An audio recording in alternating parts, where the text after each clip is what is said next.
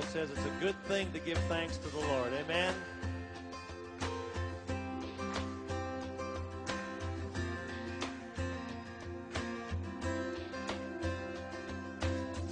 I come before you today. And there's just one thing that I want to say.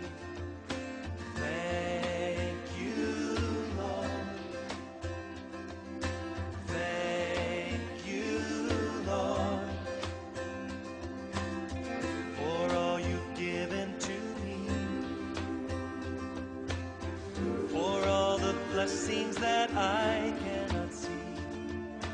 Thank you, Lord.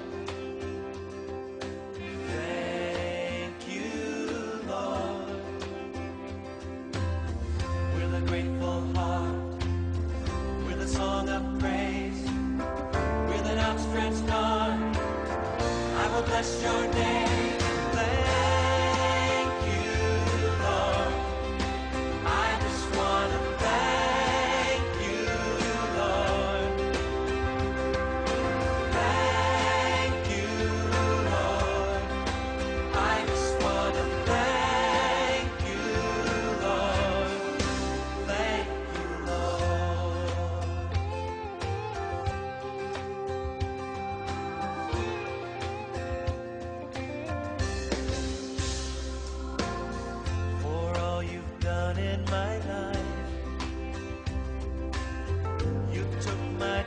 And gave me your light. Thank you, Lord.